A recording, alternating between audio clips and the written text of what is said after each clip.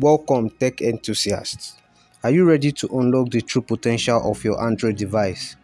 In this exciting video, I'll guide you through the step-by-step -step process of installing Debian with GNOME Desktop on your Android phone or tablet. Whether you're a Linux enthusiast or simply curious about exploring new possibilities, this tutorial is for you.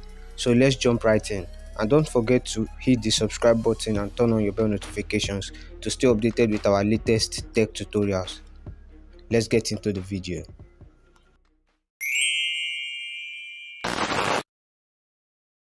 So the first thing to do is to update Termux packages. Do that with the pkg update command.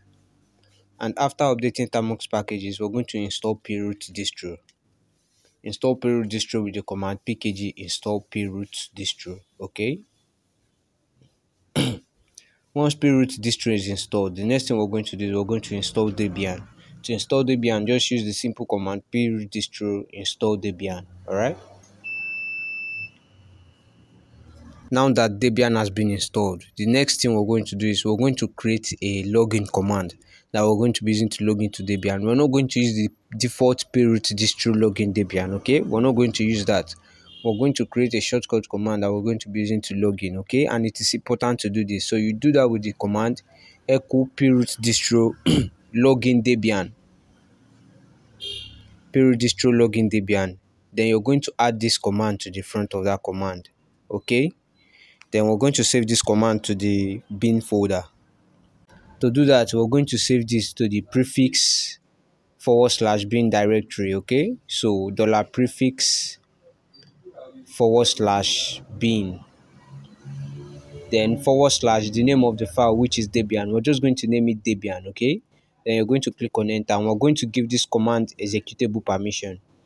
You're going to do that with the chmod plus x command okay? Chmod plus x okay? And you're going to click on enter and that command has given it executable permission.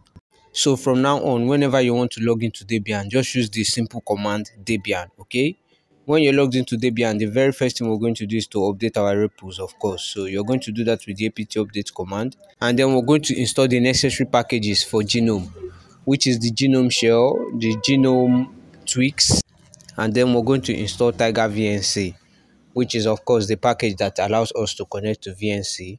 We're going to install D-Bus, and then we're going to install Gedit, all right? And another important package to install is the shell extension. And then we're going to install GNOME terminal. And um, you're going to click on enter. And all of that is going to you know install. Now that the installation is finished before proceeding to connecting to vnc i want to show you something. So i want to change the color of this local host because it doesn't really look professional you know. So to do that we're going to remove the bash rc file. After removing the bash rc file then we're going to copy another bash rc file from the etc forward slash skel directory okay? We're going to copy it and we're going to copy it to our home directory. So as you can see you're going to do that with this command. And um, now you're going to exit and then you're going to log into debian again okay?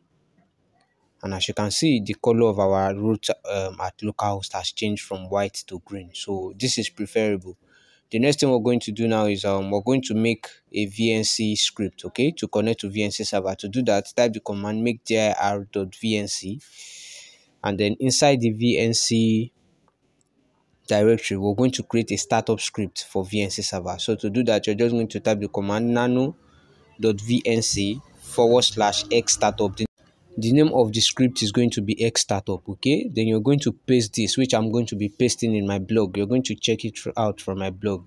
You're going to paste this in that script. Then you're going to exit and you're going to give that script executable permission with the chmod plus x command okay? And yeah this is it. So the next thing we're going to do now is we're just going to connect to vnc server. To do that just type the command vnc server okay you'll be required to enter a password create a password you can easily remember verify that password and you know continue. So that is it. Now that you have created um, your vnc server open your nethunter application. I prefer the nethunter application. Some uses vnc viewer but i prefer the nethunter application. Set your connection type to basic vnc set your vnc connection settings to localhost 1 okay? The vnc server name is going to be localhost then in the other side the right hand side here is going to be 1 okay? Which is the localhost one that we connected our vnc to. And down here as you can see it says vnc password. You're going to use the password you created in the vnc earlier and you're going to make sure you click on this keep for NetHunter to remember the password and you're going to click on connect. And as you can see we are now logged into our debian GNOME desktop okay so now um, i want to add the dock to the home screen. To do that you're going to you know click on activities click on the application and click on extensions. Now that the extension window is open you're just going to turn on dash to dock and as you can see the dock is now on. So if you want to make some changes to your dock you can just click on the settings icon there and you know you're going to make some changes. But me i prefer it this way. So I'm not going to make any change at all. I'm just going to leave it the way it is. But if you want to make some changes, for some of you that want it you know, to be full screen, you can make your changes here, okay? So I just wanted to show you this window so that you know how to make changes if you want to make changes. If you want the dock to be at the right, bottom, left, top, you know, you can change it from here. So the next thing we're going to do now is we're going to add some applications to the dock, okay? So you're going to click on the dock icon, of course, which is the launcher icon then you're going to add you're going to right click on the app you want to add to the dock and click on add to favorites and um, add to favorite as you can see both terminal and the text editors has been you know add to favorite.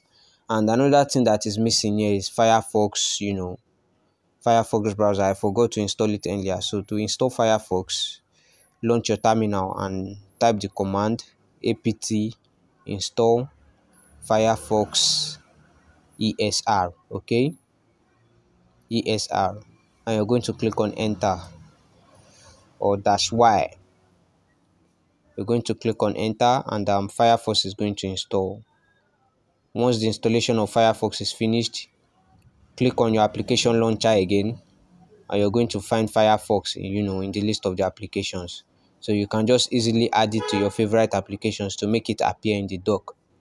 Okay as you can see firefox has been added to the dock so i'm just going to shift firefox up i'm going to move it up so that it is going to be above the dock and as you can see this is it so this is how you install debian with the GNOME desktop on your android device um, I previously made a video on Ubuntu. You, you can check that out. I'm going to drop the link to the video in the description below. And always remember to kill your VNC server, okay? Kill it to the VNC server hyphen q ratio 1 command okay? And now you can exit. So this is basically how you just do it. Thanks for watching. Please let me know in the comment section below if you you know encountered any error in this video or you need help with anything regarding this video or any other video that i've made. And if you found this video helpful make sure you click the subscribe button and turn on bell notifications to be notified whenever we upload new videos. Um thanks for watching and i'll see you in the next one. Goodbye